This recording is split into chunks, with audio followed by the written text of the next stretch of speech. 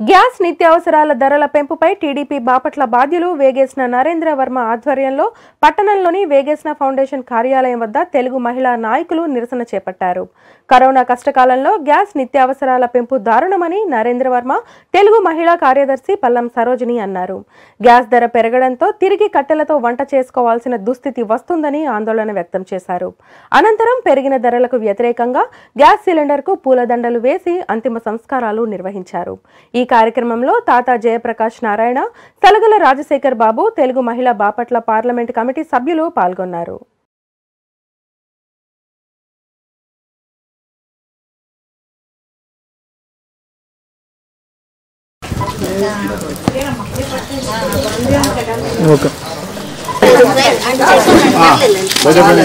చూడండి అందరూ వర్ధిల్లాలి మహిళల ఐక్యత. వర్ధిల్లాలి మహిళల ఐక్యత. పెన్షన్ల ధరల వెంటనే. తగ్గించాలి. పెంచిన ధరల వెంటనే. తగ్గించాలి. ధరలు. నిత్యావసర ధరలు. నిత్యావసర ధరలు. నిత్యావసర ధరలు. నిత్యావసర ధరలు ముద్దులు పెట్టి ఈ రోజు మమ్మల్ని పెడుతున్న జగను. ఆడవాళ్ళకి కన్నీళ్ళు రానినని చెప్పి ఈనాడు వంట గ్యాస్ కూడా రేట్లు పెంచి మమ్మల్ని ఈ రకంగా పెడుతున్న జగను. వర్ధిల్లాలి తెలుగుదేశం పార్టీ. వర్ధిల్లాలి తెలుగుదేశం మహిళలు. ప్రతి నెలకి లేకపోతే ప్రతి రెండు నెలలకు ఒకసారి గ్యాస్ని పెంచుతూనే వస్తున్నారు. అప్పుడు మూడు వందల యాభై రూపాయలు సిలిండర్ అయితే ఇప్పుడు దాదాపు తొమ్మిది వందల నుండి తొమ్మిది వందల యాభై రూపాయలకి సిలిండర్ చేరుకుంది ధర. పేద మధ్య తరగతి కుటుంబాల వాళ్ళు ఈరోజు ఈ ప్రస్తుత పరిస్థితుల్లో కరోనాతో చాలా ఇబ్బందులు పడుతున్నారు. కొంతమందికి అయితే అన్నం వండుకుంటే దానిలో కూర వండుకోవడం కూడా చాలా కష్టంగా ఉంది. అది నేను నిజంగా చెప్తున్నానండి. నా మనసులో నుండి వచ్చే మాట అది. మా విలేజ్లో ఎంతమంది కూరలు వండుకోకుండా బాధపడుతున్నారో కూడా నాకు తెలుసు. అందుకు నాకు కంటి నీళ్ళు కూడా వస్తున్నాయి. ఎంతోమంది రోడ్డును పాలవుతున్నారు రోడ్డును పడుతున్నారు. ఇట్లాంటి దౌర్భాగ్యపు పరిపాలన అనమాట ఇట్లాంటి పరిపాలనలో ఇట్లాంటి పాలనలో ఉన్న ముఖ్యమంత్రి కింద మనం ఉన్నాం. ఆ రోజు ఒక ఒక మాట చెప్పారు జగన్మోహన్ రెడ్డి గారు. మహిళలకు అన్ని విషయాల్లో నేను తోడుంటాను అన్నారు.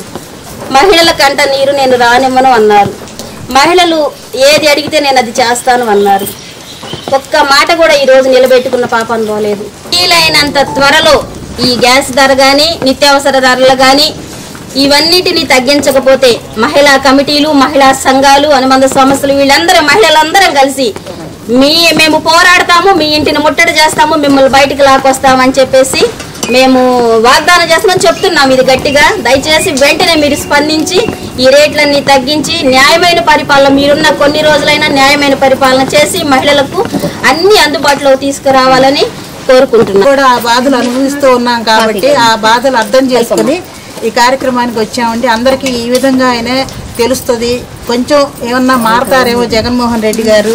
ఆడవాళ్ళకి బాధలు అర్థం చేసుకుని ఇవి తగ్గిస్తారేమో నిత్యావసర వస్తువులు ఏంటి ఇంటి పన్నులు ఏంటి గ్యాస్ ఏంటి తర్వాత కరెంటు బిల్లులు ఏంటి?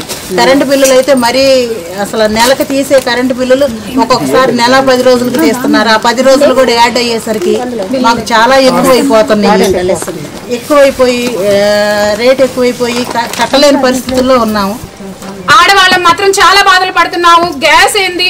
ఇంతకు ముందు మా మగవాళ్ళు పదివేలు సంపాదిస్తే మా కుటుంబం ప్రశాంతంగా బతికేది. ఈనాడు ఆ పదివేలతోటి అసలు ఇంటి అద్దెలు కట్టుకోవాలా? లేకపోతే నిత్యావసర సరుకులు తెచ్చుకోవాలా? అసలు కూరలు చేసుకోవాలా? కూరగాయలు ఏంది? నువ్వునేంది ఉప్పు ఏంది? పప్పు ఏంది? అసలు ఎట్ట రేట్లు పెరిగిపోయినాయి? ఏనాడన్నా మేము ఇట్లాంటి దుస్థితి మేము చూడలేదు. ఒక పండుగ వస్తుందంటే ఓ సంతోషంగా ఉండేవాళ్ళం. అబ్బాయి వెళ్ళి అందరం సంచులు వేసుకుని వచ్చేవాళ్ళు. నువ్వు సంచులు ఇకపోతే మాలయ్యా ఈ ధరలన్నా తగ్గించయ్యా అని చెప్పి నీకు విన్నపంగా చెప్పుకుంటున్నాము. దయచేసి ఇప్పటికైనా సరే నువ్వు తెలుగుదేశం పార్టీ వాళ్ళు చేశారు కాబట్టి నేను చేయను నేను కక్షపూర్తంగా నా పచ్చ ఉంది. ఈ కాదయ్య జనం పక్షాన పది మందిని కనుక్కొని ఆడవాళ్ళు పడుతున్న ఇబ్బందులు నీ దాకా తీసుకురావాలి. ఇలాంటి ఉద్యమాలు ఇంకా ముందు ముందు ఎక్కువ కాకుండానే నువ్వు ఈ ధరలన్నీ కూడా తగ్గించాలని కోరుకుంటున్నాను.